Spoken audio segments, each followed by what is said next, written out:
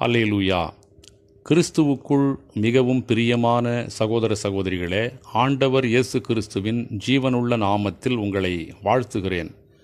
கர்த்தர் உங்கள் யாவரையும் அபரிதமாய் அனுதினமும் ஆசீர்வதித்து பெருக பண்ணுவாராக. ஆமேன். குலசையர் ஒன்றாம் அதிகாரம் பன்னிரெண்டாவது வசனம். ஒளியில் உள்ள பரிசுத்தவான்களுடைய சுதந்திரத்தில் பங்கடைவதற்கு நம்மை தகுதியுள்ளவராக்கினவரும். அலைலுயா பிரியமான தேவனுடைய பிள்ளைகளே ஒளியில் உள்ள பரிசுத்தவான்களுடைய சுதந்திரத்தில் பங்கடைவதற்காக நம்மை ஆண்டவர் இயேசு தேடி வந்து தெரிந்தெடுத்து பாவிகளாயிருந்த நம்மை இருளின் அந்தகாரத்தில் வாழ்ந்து கொண்டிருந்த நம்மை பரிசுத்தப்படுத்தி தகுதிப்படுத்தி இருக்கிறார் அல்லேலுயா. இருள் என்பது சாத்தானை குறிக்கிறது ஒளி என்பது தேவனை குறிக்கிறது. தேவன் யாரும் சேரக்கூடாத ஒளியில் வாசம் பண்ணுகிறவராய் இருக்கிறார் என்று வேதம் நமக்கு சொல்லுகிறது. வேதத்தை வாசித்து அறிந்து உண்மையாக கிறிஸ்துவை பின்பற்றுகிறவர்களுக்கு அந்த காரியம் புரிந்திருக்கும். அது என்ன உண்மையாய் பின்பற்றுகிறவர்கள் என்று நீங்கள் நினைக்கலாம். ஆம் இயேசு கிறிஸ்து யார் எதற்காக வந்தார் அவர் வசனம் என்ன சொல்லுகிறது என்று கொஞ்சமும் வேத அறிவு இல்லாமல் ஏதோ கடமைக்கு வாழ்கிறவர்கள் பெயர் கிறிஸ்தவர்கள் அந்தி கிறிஸ்தவர்கள் பாரம்பரிய சடங்குகளை கடைபிடிக்கிற கிறிஸ்தவர்கள் இப்படி பல பேர் இந்த உலகத்தில் கிறிஸ்தவ போர்வையில் வாழ்ந்து கொண்டிருக்கிறார்கள். இவர்கள் உண்மையாக வசனத்தை அறிந்து கொள்ளவில்லை வசனத்துக்கு முக்கியத்துவம் கொடுப்பதில்லை. பிரியமான சகோதர சகோதரிகளே சில நாட்களுக்கு முன்பு நான் ஒரு இடத்திற்கு சென்ற பொழுது அங்கே ஒரு போதகர் அதாவது வேதாகம கல்லூரியிலே படித்து அவர் போதகர் உத்தியோகம் செய்து இப்பொழுது அவர் ரிட்டையர் ஆகி இப்பொழுது வீட்டிலே இருக்கிறார். அவர் பல ஆண்டுகள் போதகருடைய ஊழியத்தை செய்த ஒரு பாரம்பரிய சபையை சார்ந்தவர். பேசி கொண்டிருக்கும் பொழுது என்னை பார்த்து அவர் ஒரு கேள்வியை கேட்டார். நீங்கள் கல்லறை திருவிழா கொண்டாடுவது உண்டா? என்று என்னை பார்த்து கேட்டார். நான் ஒரு இந்து ஆச்சாரங்களை கடைபிடித்து கர்த்தரை அறியாத ஒரு குடும்பத்திலிருந்து வாழ்ந்து கொண்டிருந்த என்னை ஆண்டவராகிய இயேசு கிறிஸ்து தேடி வந்து எனக்கு ரட்சிப்பை கொடுத்து அவருடைய பிள்ளையாக என்னை ஏற்றி ஏற்றுக்கொண்டார். ஆனபடினால நான் வேதாகமத்தின் அடிப்படையில் அவரோடு நான் பேசினேன். கிறிஸ்துவம் ஆரம்பிக்கப்பட்ட நாள் முதலாக புதிய ஏற்பாட்டிலே வேதாகமத்தில் வாசித்து பார்க்கும் பொழுது கல்லறை திருவிழா என்று ஒரு திருவிழா கொண்டாடினதாக நான் பார்க்கவில்லை. அப்போசல்கள் காலம் முதல் வெளிப்படுத்தின விசேஷம் வரைக்கும் நான் வாசித்து பார்த்திருக்கிறேன். கல்லறை திருவிழா கொண்டாடுவதாக அங்கே எந்த சம்பவமும் சொல்லப்படவில்லை. வசன ஆதாரங்களும் இல்லை என்று அவரிடத்தில் சொன்னபொழுது அவர் உடனடியாக கோபப்பட்டார். எதற்கு வசனத்தை பார்க்க வேண்டும்? வசனத்தை நாங்கள் கடைபிடிப்பதில்லை. நாங்கள் எதற்கு வசனத்தை பார்க்க வேண்டும் என்று பலவிதமான காரியங்களை அவர் பேசி என்னோடு கோபப்பட்டார். நான் சொன்னேன் வசனம் இல்லாமல் எப்படி நாம் ஒரு காரியத்தை செய்ய முடியும்? வசனத்தில் இல்லாத காரியங்களை எப்படி கடைபிடிக்க முடியும்? என்று கேட்டபொழுது அவர் மிகவும் என்னிடத்தில் கோபமாக பேசினார். நான் ஒன்று பேசாமல் சரி மன்னித்து விடுங்கள் என்று சொல்லி நான் வந்துவிட்டேன். பிரியமான சகோதர சகோதரிகளே இந்த உலகத்தின் கடைசி முடிவு பரியந்தத்தில் நாம் வாழ்ந்து கொண்டிருக்கிறோம். இந்த காலத்தில் கல்லறைகளை குறித்தும் பல காரியங்களை குறித்தும் சிந்தித்துக் கொண்டிருக்கிறவர்கள் ஆத்தும ரட்சிப்புக்காக என்ன செய்வார்கள் என்பதை நீங்களே நிதானித்துக் கொள்ளுங்கள். பிரியமான சகோதர சகோதரிகளே நன்றாக சிந்திக்க வேண்டும். வருகிறவர்கள் எல்லோரும் இருக்கிற அந்த பூமியிலே கல்லறை கட்டிவிட்டால் இந்த கடைசி காலத்தில் பிறகு மறிக்கிறவர்களை எங்கு கொண்டு வைப்பது? நன்றாக சிந்திக்க வேண்டும். இப்பொழுது விளைநிலங்களெல்லாம் வீடுகளாய் மாறிக்கொண்டிருக்கிற இந்த காலத்தில் அதுவும் ஆட்சிகள் மாறி மாறி வந்து கொண்டிருக்கிறது இந்திய தேசத்தில். அப்படி இருக்கும்பொழுது கிறிஸ்தவத்திற்கு விரோதமாக அநேக தீய சக்திகள் எழும்பிக் கொண்டிருக்கிற இந்த காலத்தில் கல்லறை திருவிழா கல்லறை குறித்து மேன்மை பாராட்டி கொண்டு சண்டை சச்சரவுகளை செய்கிறவர்கள் எப்படி வேதாகமத்தை அறிந்திருக்கிறார்கள் என்பதற்காக நான் சொல்ல வந்தேன். அது போகட்டும். பிரியமான தேவனுடைய பிள்ளைகளை நான் ரட்சிக்கப்பட்டேன் ஞானஸ்தானம் பெற்றுக்கொண்டேன் அபிஷேகம் பெற்றுக்கொண்டேன் என்று நாம் பெருமை பாராட்டி கொண்டிருந்தால் மாத்திரம் போதாது. நம்முடைய வாழ்க்கை எப்படி இருக்கிறது? வேதாகமத்தின் அடிப்படையில் இந்த கடைசி காலத்திலே ஆண்டவராக இயேசு கிறிஸ்து வரப்போகிறார்.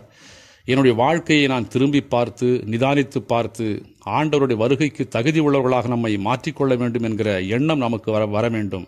ஆகையினால் தான் அந்த வேதவசனம் இப்படியாக சொல்லுகிறது. ஒளியில் உள்ள பரிசுத்தவான்கள் வாசம் பண்ணுகிற அவர்கள் இருக்கிற இடத்திலே நம்மையும் சேர்க்க வேண்டும் என்பதுதான் ஆண்டவருடைய சித்தமாக இருக்கிறது. அலலுயா இன்றைக்கு உலக காரியங்களுக்காக மாத்திரம் ஆசீர்வாதத்திற்காக அனுகூலத்திற்காக செழிப்புக்காக மாத்திரம் வாழ்ந்து வசனங்களை கடைபிடிக்காதபடிக்கு எல்லாவற்றையும் விட ஒரு மேன்மையான ஒரு இடத்தை ஆண்டர் வைத்திருக்கிறாரே.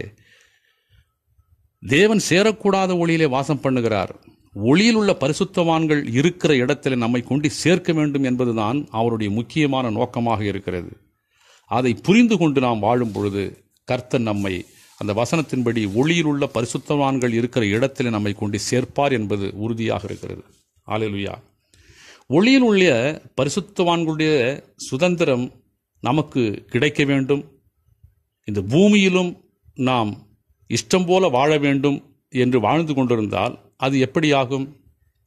நாம் ஒளியில் வாழ்வதற்காக அழைக்கப்பட்ட பிள்ளைகள் அந்தகார இருளிலிருந்து ஆச்சரியமான ஒளிக்கு நம்மை அழைத்தவருடைய புண்ணியங்களை நாம் அறிவிக்க வேண்டும். அடுத்த வசனத்தில் வாசித்து பார்க்கும் பொழுது நன்றாக புரிந்து கொள்ளலாம்.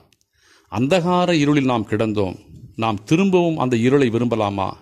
ஆண்டவர் பார்த்து கேட்கிறார். பிரியமான சகோதர சகோதரிகளே இந்த உலகம் அந்தகார இருளிலே மூழ்கப் போகிறது. காலம் கடைசியாகிவிட்டது. நாமெல்லாம் அழைக்கப்பட்ட அந்த ரட்சிப்பின் மகிமையை நாம் விருதாவாக எண்ணாதபடிக்கு நாம் அந்த ஒளியில் உள்ள பரிசுத்தவான்கள் பங்கடைவதற்கு கொடுக்கப்பட்ட அந்த சுதந்திரத்தில் நாம் பங்கடைய வேண்டும். அதற்காகவே தேவன் நம்மை தெரிந்து கொண்டிருக்கிறார். அலலுயா ஒளியில் வாழ விரும்புகிறவர்கள் இருளை விரும்ப மாட்டார்கள் பரிசுத்தவான்களோடு வாசம் பண்ண விரும்புகிறவர்கள் பாவத்தை விரும்ப மாட்டார்கள் வேதம் நன்றாக சொல்லுகிறது.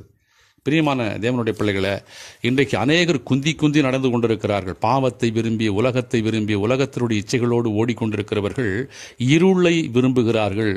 இருளை அவர்கள் அதிகமாக விரும்புகிறபடினாலே அப்படி ஆகிறது. அலலுயா சில பேருடைய வாழ்க்கையை பார்க்கும் பொழுது ஒரு கேள்விக்குறியாகவே இருக்கும்.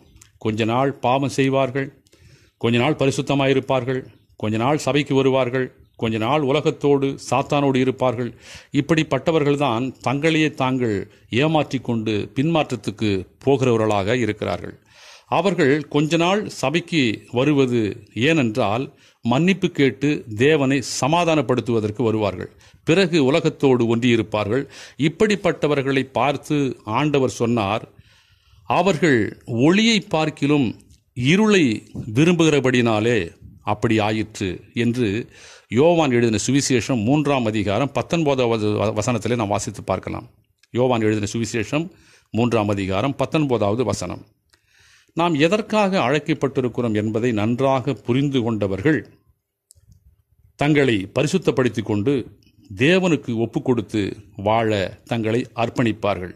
அலலுயா தங்களை பரிசுத்தத்திற்கு ஒப்பு கொடுக்காமல் தேவனுடைய வார்த்தைக்கு கீழ்ப்படியாமல் ஆண்டவர் இயேசுவின் விலையேறப்பெற்ற அந்த தியாகத்தை அவர்கள் அற்பமாக எண்ணும் பொழுது தேவனிடத்தில் நாம் குறை கூறி ஒரு காரியமும் இல்லை. பிரியமான சகோதர சகோதரிகளே இது ஒரு கடைசி காலமாக இருக்கிறது. ஆண்டவர் வரக்கூடிய அறிகுறிகள் இப்பொழுது தென்படுகிறது. பல இடங்களிலே பல உலக நடைமுறைகளை பார்க்கும் பொழுது இதோ கடைசி காலம் வந்துவிட்டது. நாம் சாக்கு போக்கு சொல்வதற்கு காலமில்லை இடமும் இல்லை நேரமும் இல்லை.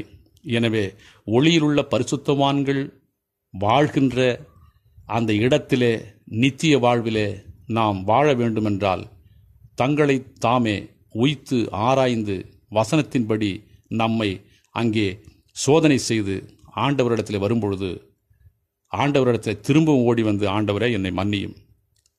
என்னை ஏற்றுக்கொள்ளும் என்று சொல்லும் பொழுது திரும்பவும் உங்களை மன்னித்து ஒளியில் உள்ள பரிசுத்தவான்கள் வாழ்கிற அந்த இடத்திற்கு உங்களை அழைத்துச் சொல்வார்.